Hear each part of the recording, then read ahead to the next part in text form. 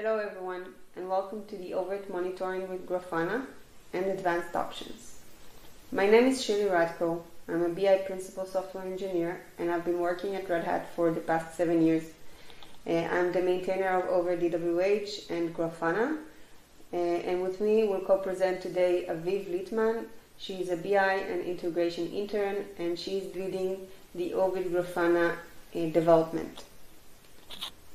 On the agenda today, we will talk about uh, the data warehouse, how it is built, uh, the oVirt Grafana, how to add custom dashboards to the Grafana, and we will show you a demo on how to do that. The contributors uh, for this project from the engineering side are Aviv, myself, and Yedidia. Uh, on the, and, and on the QE side, Lucy, Guilherme, and Pavel. So let's go over a bit about what is the data warehouse. The data warehouse collects, collects the data about all the oVirt entities, uh, starting from the data center, the clusters, uh, the hypervisors and the VMs, um, and uh, their usage, usage consumption of the disk, CPU, network, and memory. The data warehouse uh, is doing the process of ETL, which is a, pro- a term coming from the BI. Um, and let's go over it. ETL. The first one is extract. Uh, extracting the metrics from the engine database uh, on one minute intervals. Then we transform. The data is being validated, transformed, cleansed, and we add additional metadata to it. Then there are aggregations of hourly and daily aggregations. The data retention um, can be set to one of two options basic and full scale. The difference between them is the time that we keep the samples hourly and daily data. For the basic, uh, which is the default, we save samples for 24 hours, uh, hourly data for one month, and we don't save any daily data. Uh, this enables us to keep the data warehouse small, but it comes over um, with a price that you don't have a lot of history. On the full scale, we save the samples data for 24 hours, the hourly, daily, the hourly data for two months, and the daily data for five years. Uh, on the load side, we take this data and we save it to the Postgres database, which is called oVirt Engine History. Uh, by default, this database is saved to the same machine as the engine database, but during the engine setup, you can set it up on a remote machine. Uh, the data warehouse can be migrated to a separate machine even after it was um, initially set up on the same machine as the engine. Um, this is because the data warehouse can become um, very large because you save uh, for full scale you can save five years of data. If you have a um, a big scale environment of oVirt, then you probably should uh, set it up on a remote machine. Let's go over about the architecture. So we have the RevM, the oVirt engine, which is pulling using VDSM the data from the hosts and VMs and saves it to the engine database. Then we have the data warehouse, which is pulling data from the engine DB every one minute, and then it saves it to its Postgres database. Grafana uh, connects to the data warehouse database and queries it and displays it, which is the visualization tools.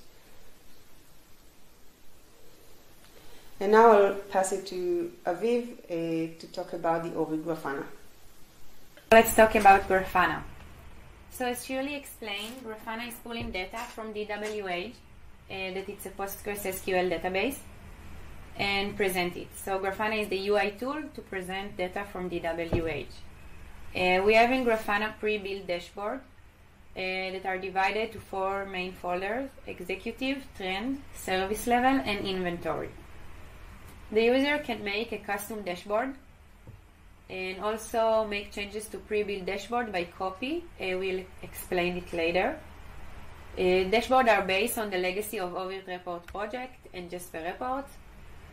Uh, the last point, uh, data display based on the time period selected by the user. So we have some, most of the reports are ba- time-based, and the user can select a time frame and see all the activity in that time frame.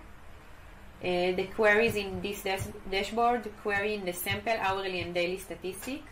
So that means the user can see data for each minute, for each hour, and for each day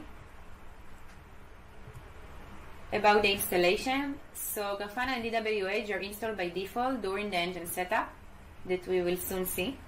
Uh, except for, for host, self-hosted engine, in that case you will need to install it manually. Uh, so DWH is installed in basic scale by default, but we strongly recommend uh, to change to full scale. As Shirly explained before, full scale saves data for five years and basic scale for one month. So this is the engine setup. As you can see, all the vars are set here. The username, the database name, and so on. Here you can see the web address for oVirt Engine and for oVirt Engine Grafana. After the setup uh, is finished successfully, you can enter the oVirt Engine web, press monitoring portal, and it will automatically connect to Grafana.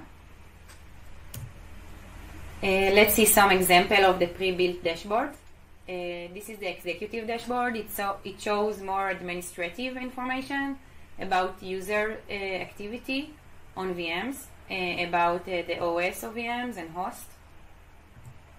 Here is the cluster dashboard. It shows information in the cluster level, uh, how many hosts, how many virtual machine, the host in the cluster, uptime, the high availability, virtual machine in the cluster. Also, it shows the cluster over commit, how many CPUs for the host and how many for the VMs. The next example is the host resources usage dashboard. Uh, this dashboard shows for a day of a week or a hour of a day the average number of usage uh, for virtual machine number, for uh, CPU, memory.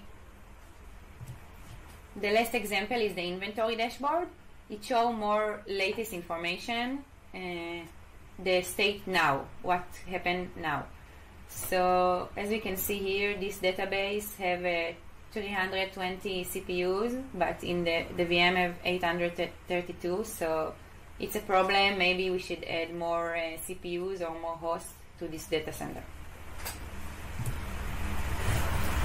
Now I'm going to show you how to uh, create a copy of a pre-built dashboard because you can't edit them. So you go to each any pre-built dashboard you want, press on a dashboard setting, save as. You choose the name, it will automatically add copy, but you can change it. Uh, choose the folder and save. If you want to reserve the tags, you need to make it uh, true. So after you save the dashboard, you can edit it. So here is the panel. You, you press on the little arrow here on each panel. Press edit. You can choose the visualization or see the current one, and data source and the SQL query. And now it's time for demo. I will show you some things in Grafana. So we connect to the oVirt Engine web portal it's by uh, writing in the in the address line your FQDN of your engine and then oVirt engine. You press on monitoring portal and it will automatically connect you to Grafana. You press on home. Then you have four uh, pre-built folder and 18 pre-built dashboard. Here in the general is a dashboard I created for myself. I will show you later in the demo. So a nice feature I want to show you is the tags. As you can see, uh, near each dashboard you have the tags and it will uh, help you to know what the content of the dashboard. Another cool thing you can do with it, it's, uh, I don't know if I want to see information about disks and about host disks.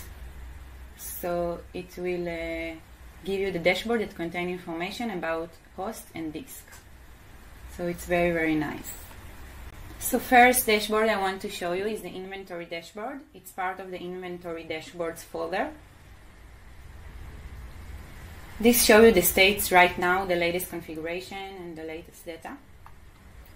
It can be very helpful for system administrator uh, to monitor uh, and to choose uh, the resources usage. As you can see for CPU and memory, the usage is changing over time.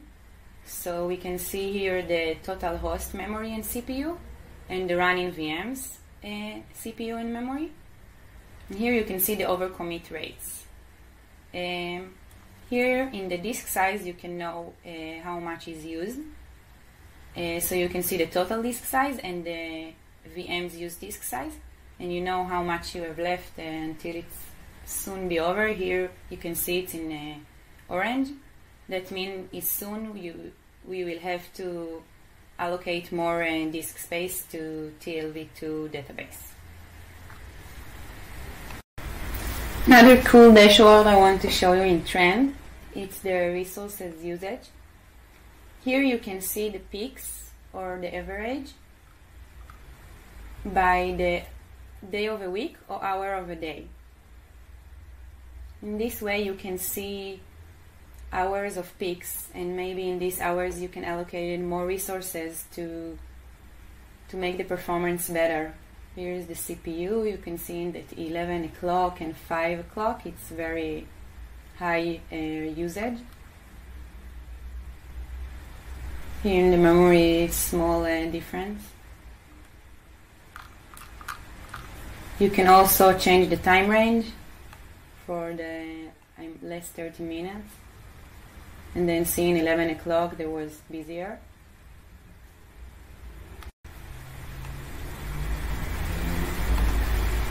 You can also search for a specific VM let's search for my VMs and see when they are the busiest.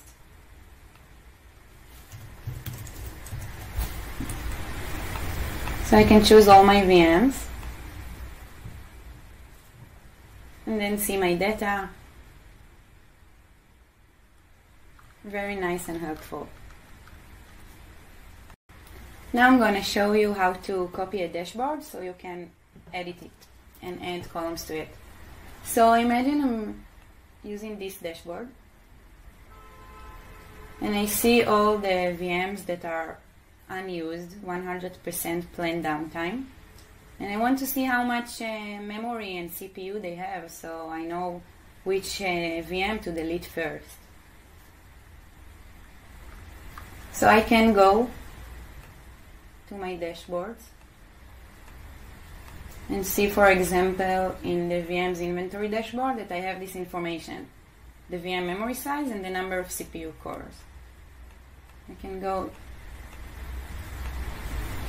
inside the query and I can see the VM size and the CPU size and take them. Now I'll, I will go back to my dashboard. I will press dashboard setting, save as. It will automatically add copy and I can choose the folder I save it in. I will save it in the same folder. I will copy the tags also. So here, now you can edit because it's not a pre-built dashboard. You go inside and here after the uptime, I will add the rows. Because of uh, this query is using group by, I will have to use an aggregation function or to group by also by the VM CPU cores and the VM memory side. I will choose the max for now. because I want the latest information.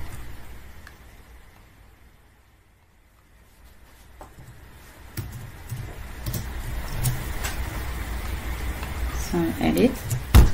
I will also need to edit to the other query. This is querying the sample table and this query the hourly and daily.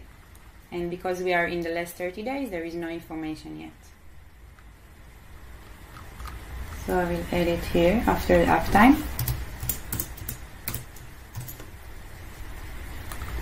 So now I want to delete the VMs that are unused and have the most uh, VM memory size and CPU. So I can also change the order by. Grafana will automatically can add it. So I want to order by going planned downtime, then the VM memory side to clear up the most memory, and then the VM CPU cores. Again, I will edit it to the second query as well.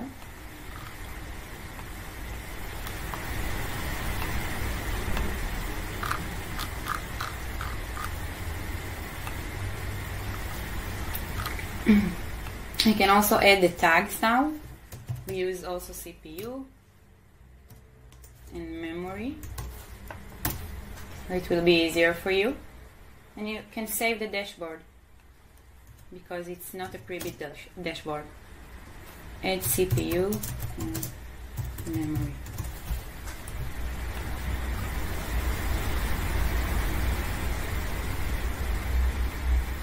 And the dashboard is saved.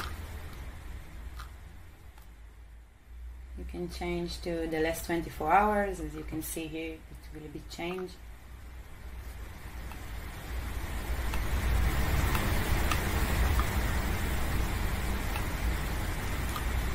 So now I have the information.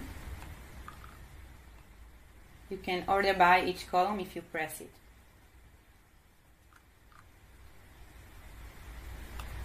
Now I have the information and I want to extract it to an Excel file. So it's possible also in Grafana, very cool feature.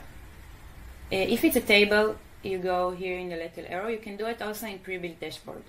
You press more, export CSV, Excel CSV, export.